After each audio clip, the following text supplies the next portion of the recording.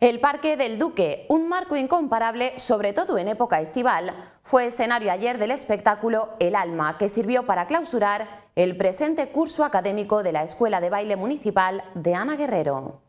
39 alumnas y un alumno mostraron su duende a un público entregado en una tarde en la que hasta el viento se rindió a los encantos de la escuela de baile dirigida por Ana Guerrero, al son de seguirillas, bulerías, alegrías, tangos o cantiñas.